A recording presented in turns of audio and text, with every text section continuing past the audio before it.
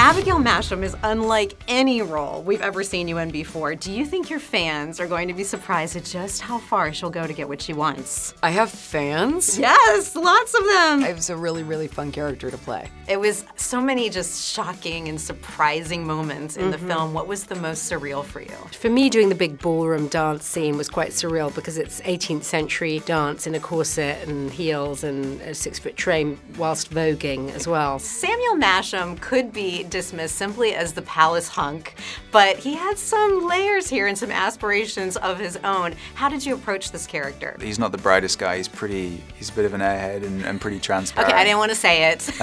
Thank He's kind for of transparent with knowing. with I didn't knowing want to insult wants. you, but yeah. That's all right. Do you think if you had to battle Rachel in real life to be someone's favorite, you would win? No.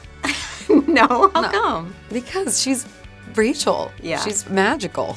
No. If you had to go back to the 1700s, is there one thing that you just couldn't live without from modern society? I'd probably take antibiotics with me, right? I think I would miss medicine and science the most.